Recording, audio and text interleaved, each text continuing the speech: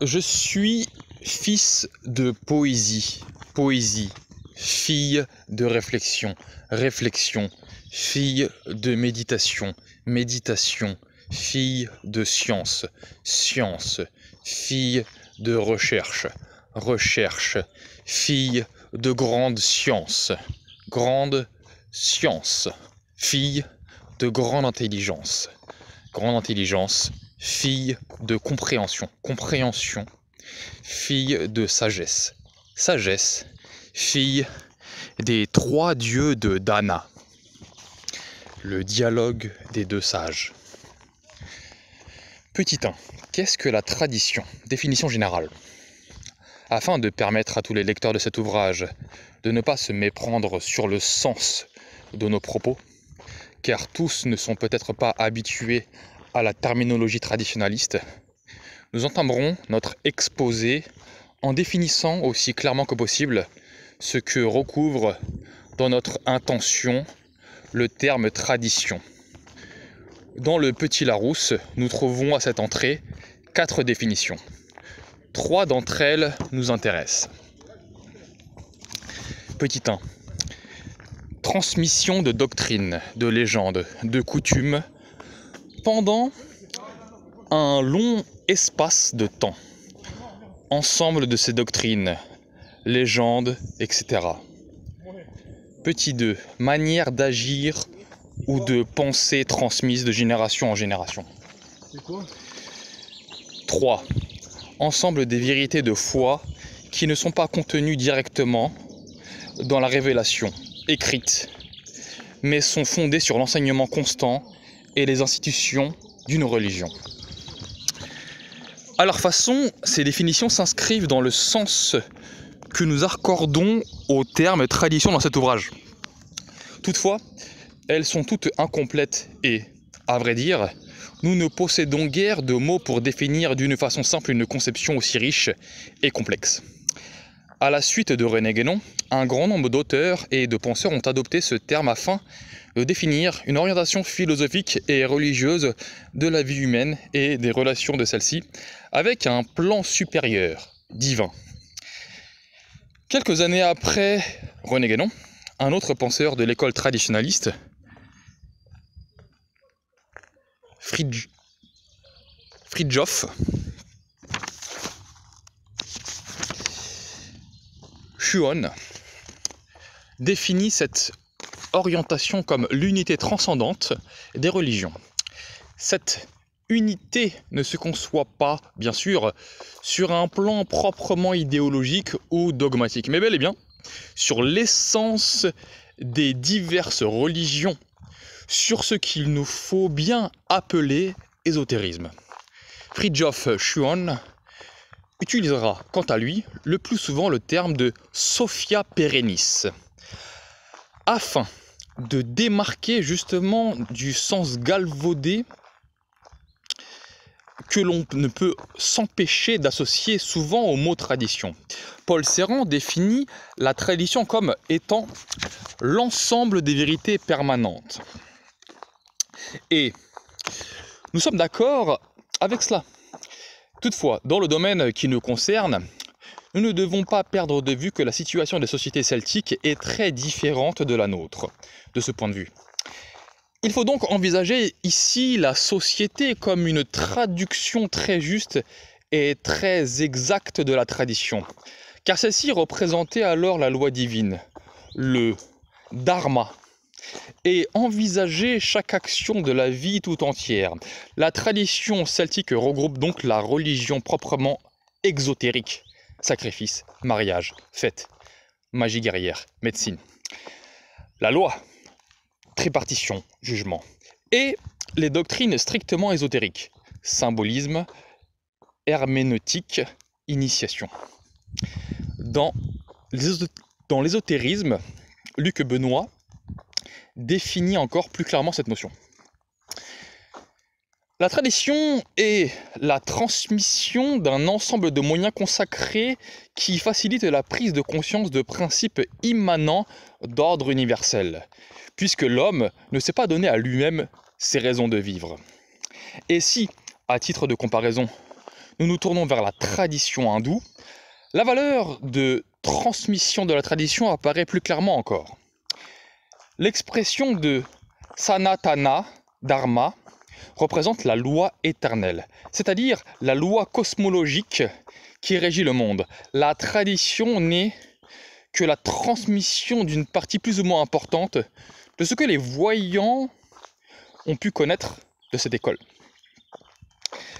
Nous nous éloignons là de plus en plus de l'acception courante de ce terme. Mais toutefois, nous restons loin de ce que celui-ci recouvre vraiment dans le domaine qui est le nôtre. Nous adopterons donc ici une définition générale qui s'appliquera fort bien à la tradition celtique en particulier. D'autant qu'elle fut énoncée dans le cadre des études celtiques.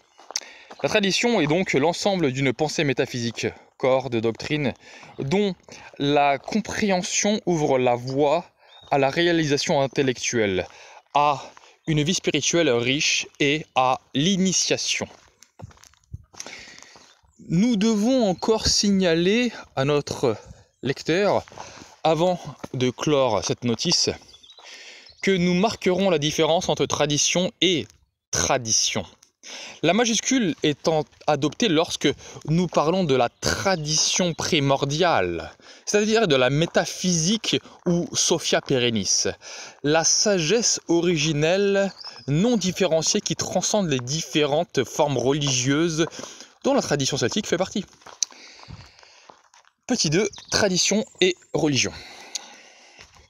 Nous avons parlé, nous avons signalé, nous avons signalé supra que la tradition celtique regroupait la religion proprement exotérique et les doctrines ésotériques. Mais nous devons, dans un cadre général, puis dans un cadre plus spécifiquement celtique, revenir sur cette notion afin de la préciser. En effet, la tradition en elle-même, ce corps de doctrine, se trouve en quelque sorte tout à la fois à l'intérieur et à l'extérieur de la religion et de ses pratiques. La tradition est connaissance métaphysique et, à ce titre, elle se passe de rites extérieurs. Ce que la religion à proprement parler ne saurait et ne pourrait accepter. La tradition est contemplation, la religion est acte. Et si cette dernière ne peut se perpétuer sans contemplation, la tradition, elle, reste toujours efficace, même sans forme extérieure. En termes hindous, il s'agit de la différence qui existe entre jana, jnana et bhakti. Entre connaissance intellective et dévotion volitive. Dans le domaine celtique, toutefois, les choses ne peuvent se résumer totalement de cette façon. La prééminence de la classe sacerdotale nous oblige à plus de finesse dans l'analyse. En effet, les druides avaient dans leurs attributs tout ce qui concerne le sacré. Et nous aurons l'occasion de constater que pour les sociétés celtiques, il n'existait pas de différence entre sacré et profane. Ce dernier n'étant même pas concevable. Les druides représentaient et régissaient donc la tradition et la religion. Cette dernière pouvant bien sûr appartenir à la sphère privée et donc connaître en fonction des clans et des familles, quelques adaptations particulières qui ne changeaient rien à la doctrine en tant que telle.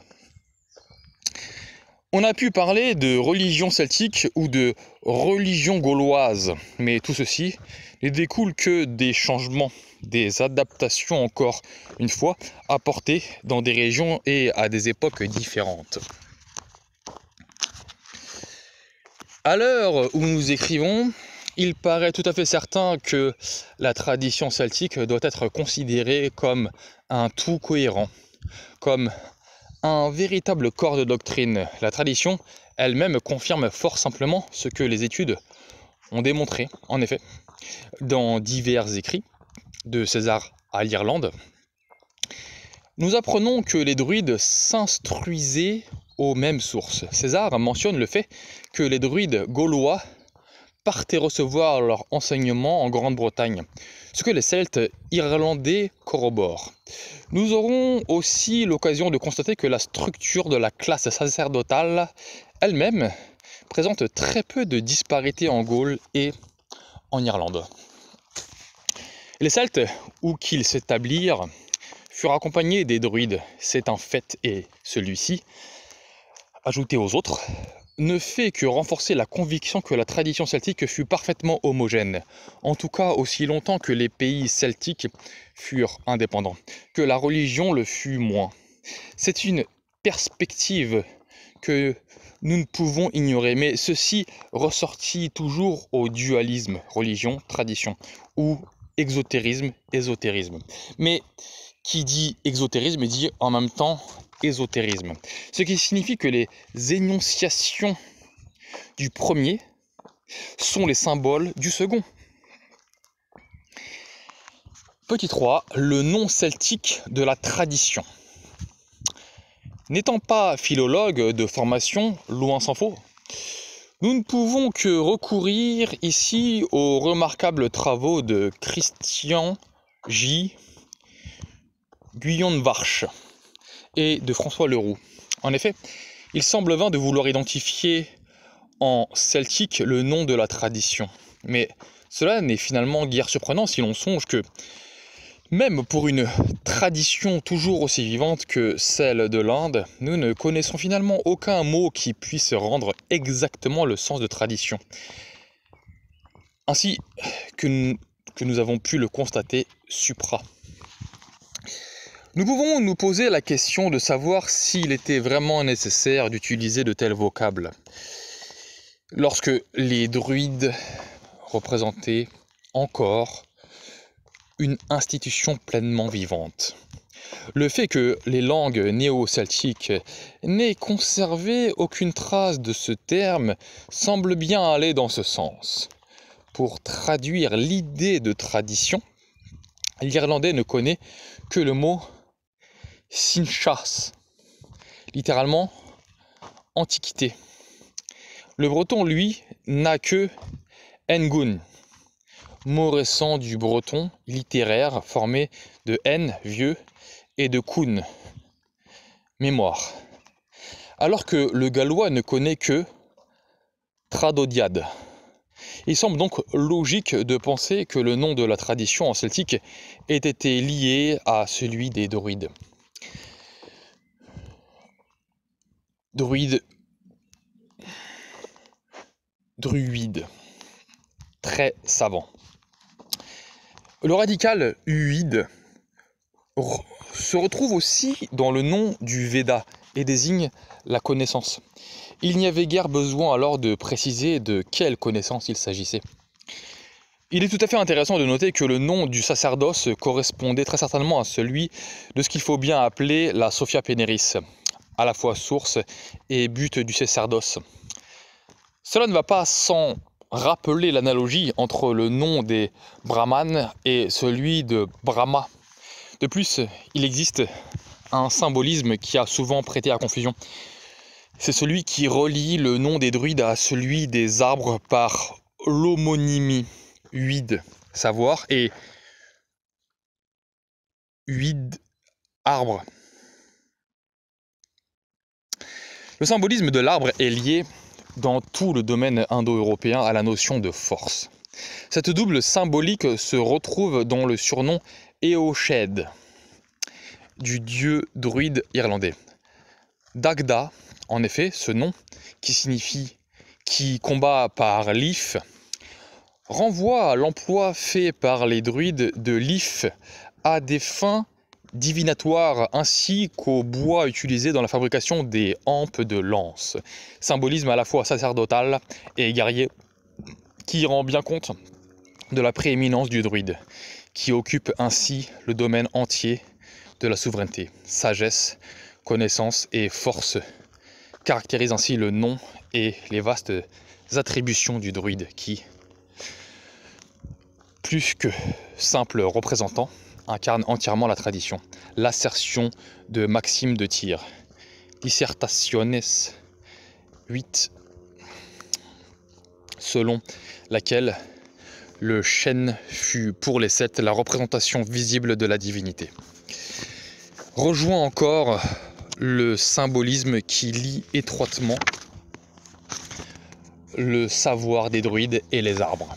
En effet, les druides sont autant de liens entre le monde divin et le nôtre, au même titre que l'arbre perçu comme Axis Mundi. À titre d'hypothèse comparative, nous citerons ici un extrait du Rig Veda 10, 31, 7, ainsi qu'un paragraphe de la Taiti Riya Brahmana 2, 8, 9, 6. Que fut l'arbre à partir duquel ils façonnèrent le ciel et la terre Le bois était Brahma, et Brahma était l'arbre, à partir duquel ils façonnèrent le ciel et la terre. Je tiens à dire, genre de compréhension, là se tient Brahma qui supporte le monde.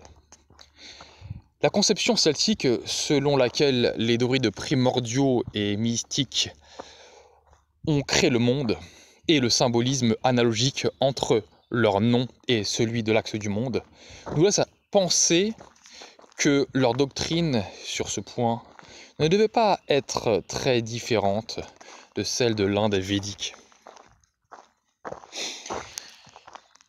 4. La tradition celtique, lien et transmission. Le véhicule privilégié des conceptions ésotériques de la classe sacerdotale fut les récits que nous considérons aujourd'hui comme mythologiques ou épiques. Disons pour être tout à fait exact que ce sont les seuls qui nous soient parvenus. C'est donc à partir de ces textes que nous devons rechercher les fondements de la tradition celtique. Or, comme le laissent entendre les définitions citées supra, les enseignements traditionnels sont le plus généralement transmis oralement. Nous sommes donc contraints à la plus grande prudence quant à l'interprétation de ces textes. Ils ne renferment pas toute la tradition celtique. Nous pouvons même dire et affirmer qu'ils ne contiennent presque rien en ce qui concerne la doctrine elle-même. Les druides, en effet, ne les transmettaient que d'une façon orale. Les textes furent transposés par écrit à une date postérieure à la christianisation et il y a fort à parier que même à une époque moins tardive, les druides irlandais convertis au christianisme auraient refusé de mettre par écrit leurs connaissances. Celles-ci ne furent donc couchées sur le papier qu'à partir du moment où les récits ne pouvaient plus réellement être reliés à l'enseignement druidique.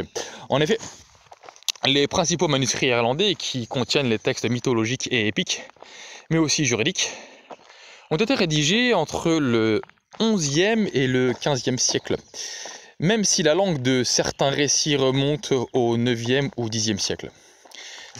Les manuscrits contiennent tous plusieurs récits et ceux-ci sont donc souvent connus par plusieurs versions. Les récits, qu'ils soient mythologiques ou épiques, ne présentent pas tous le même intérêt.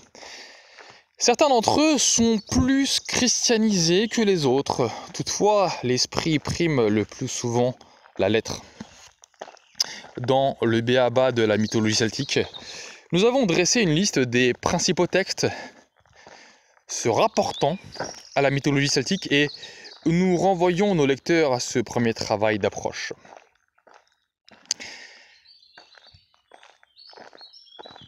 Nous nous contenterons donc ici de citer les principaux manuscrits irlandais, ainsi que les textes auxquels nous nous référons dans le corps du présent ouvrage un texte auquel nous aurons l'occasion de faire appel et contenu dans un recueil d'étymologie contenu sous le nom de Quar Anman.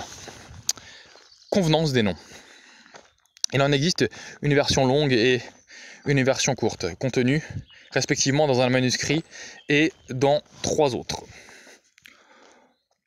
L'Oresept na necesse le rudiment du poète, et celui aussi connu sous deux formes, l'une courte, l'autre longue. La première est contenue dans quatre manuscrits, la seconde dans cinq manuscrits. Ce texte est une importante compilation regroupant tout ce qui a trait à la science des philides, les Dinchengshas, antiquité des forteresses, sont eux aussi une précieuse source d'informations. Il en existe deux séries, l'une en prose, l'autre en mètres, beaucoup plus longues. Ils comprennent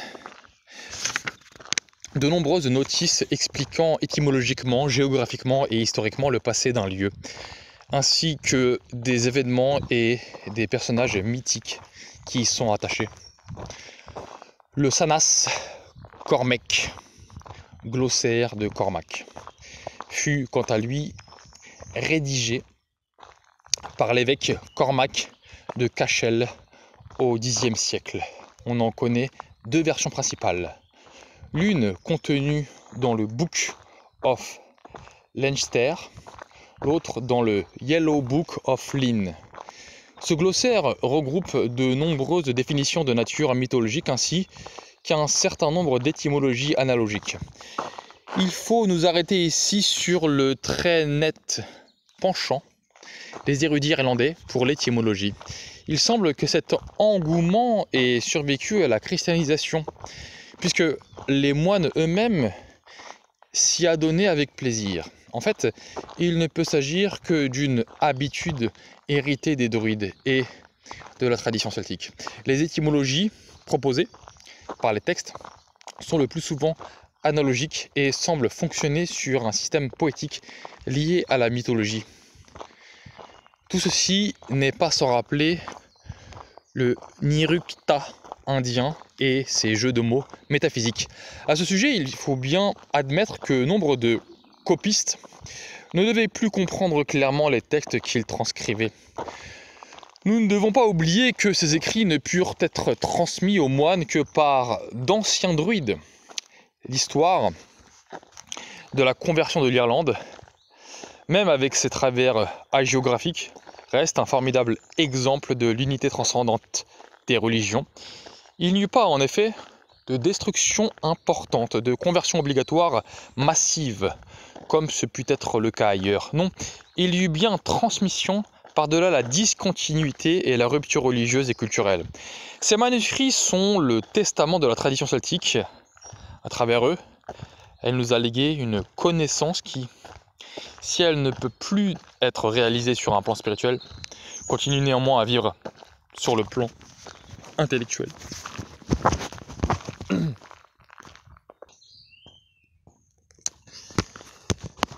5. Connaître la tradition par le mythe.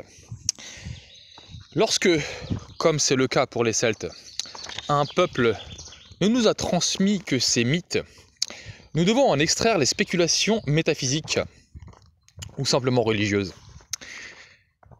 En effet, la règle druidique qui interdisait de mettre par écrit ces enseignements a eu pour conséquence de nous priver de la théologie et de la doctrine métaphysique des druides, qui furent à l'origine des récits qui nous sont parvenus.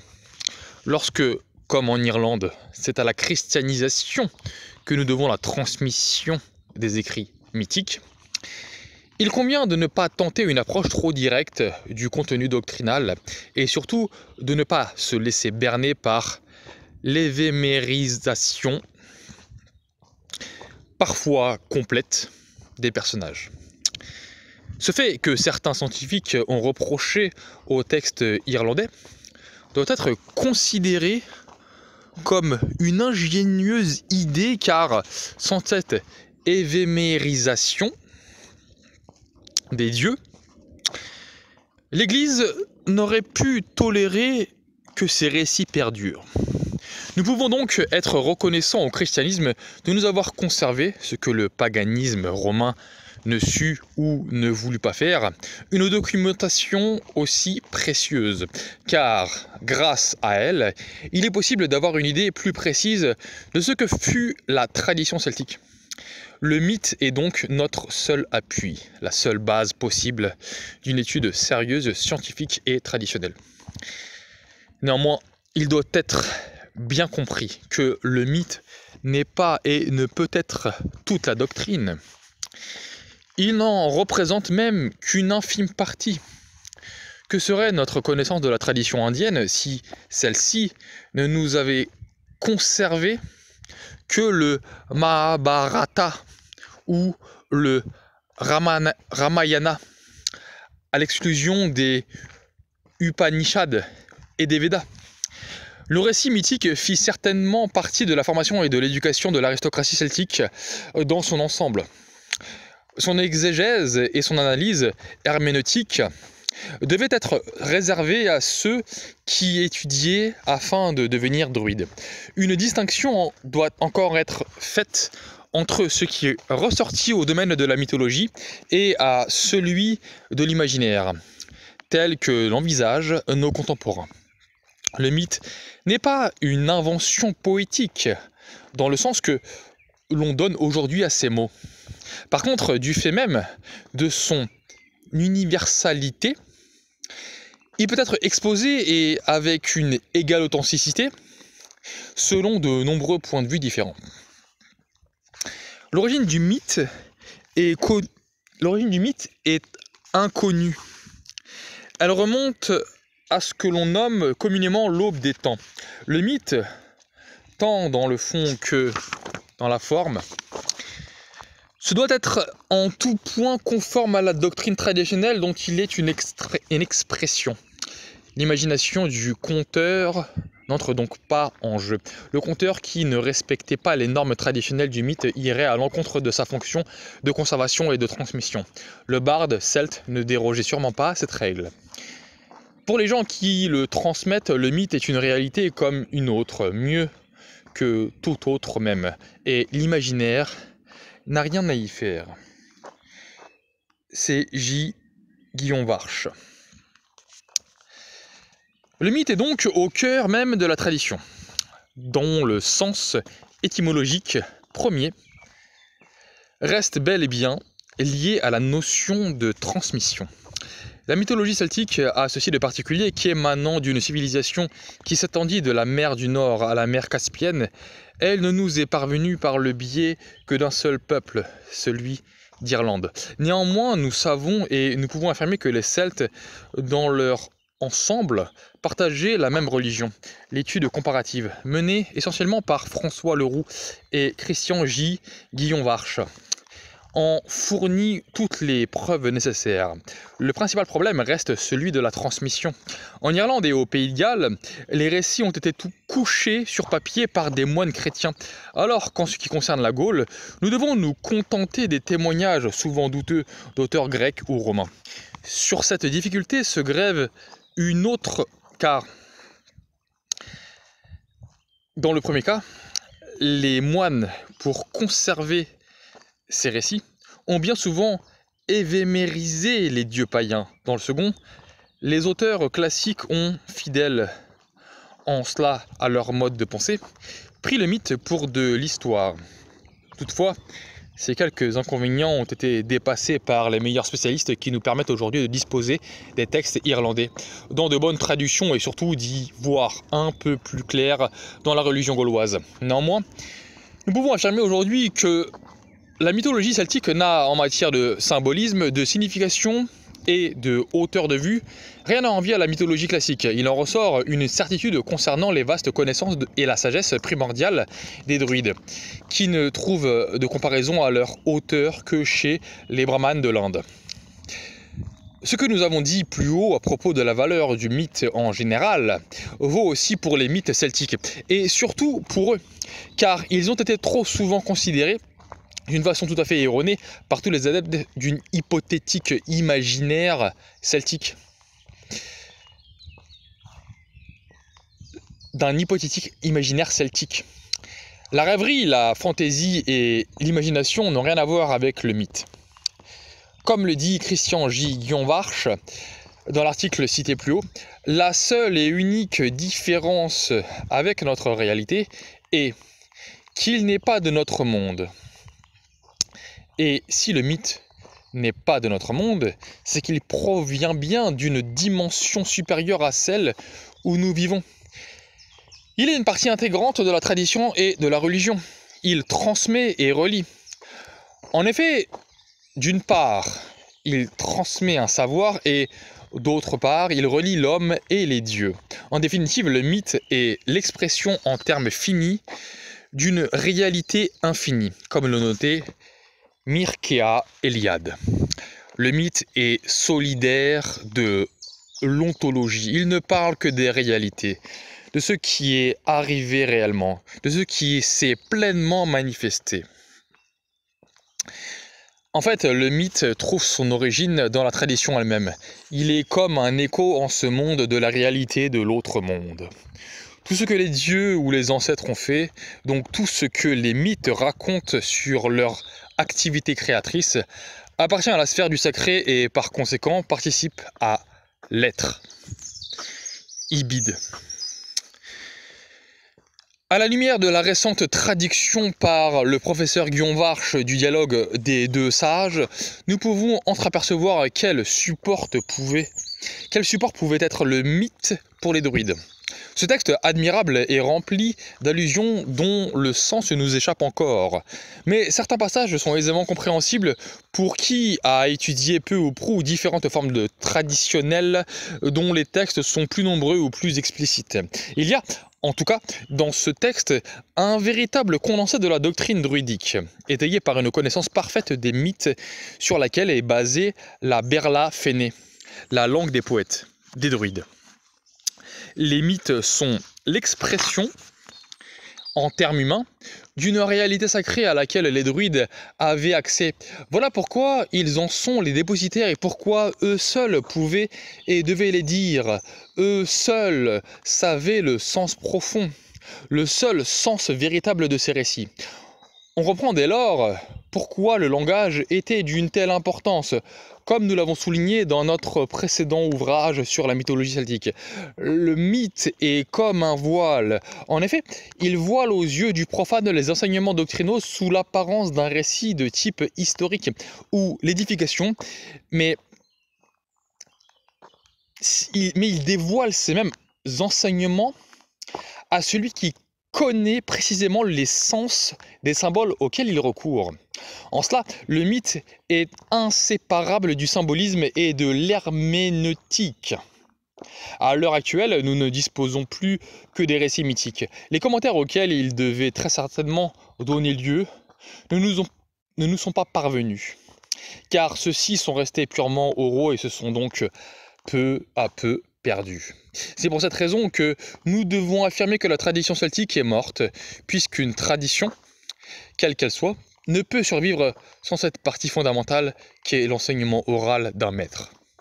Toutefois, le mythe, lui, conserve toujours et à jamais une valeur de modèle exemplaire. Une valeur archétypale qui ne saurait lui être retirée. Voilà pourquoi nous devons analyser et comprendre la mythologie celtique afin de cerner ce qu'elle contient. Encore en termes d'enseignement. En résumé, pour la réactualisation de ces mythes, l'homme religieux s'efforce de s'approcher des dieux et de participer à l'être. Ibide.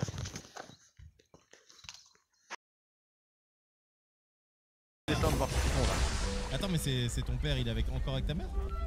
Ah ouais, ça fait ensemble. Et vous vivez sous le même toit? Ouais. Ah là, c'est malsain. Ça va, j'ai 30 ans, gros. Ok, Tanguy, bonne nuit. Au revoir. There must be something. Access, il y a du pige. Non, non, mais on sur les Free Access. There must be something. Ah ouais, c'est about- chaud. Let's look around.